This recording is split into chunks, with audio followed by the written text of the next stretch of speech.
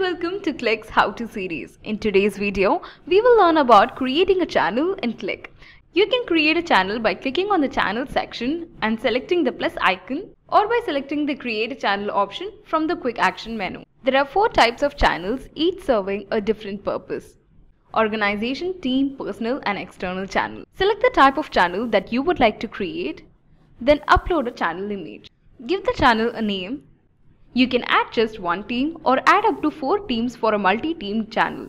The channel visibility option is available for organization and team channels. It can be set as open to all or closed. The open to all option allows anyone in the organization to search for and join the channel. The closed option makes it so that the channel does not come up in searches and members can only join through admin invitation. Add members to the channel by entering their names in the add participant field and selecting from Cliq suggestion. And for external channels, you can type the user's email address if they do not show up in the suggestions.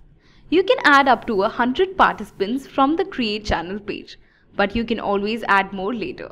The total maximum number of participants you can add depends on your organization's channel license plan. Complete the initial channel setup by describing its purpose in the channel description field. Selecting advanced configuration enables you to set the access permission and take greater control over the conversation in the channel. Once you've filled the required fields and set your desired permissions, click on Save. Keep in mind that you can only create a team channel if you are a member of a team in Cliq organization.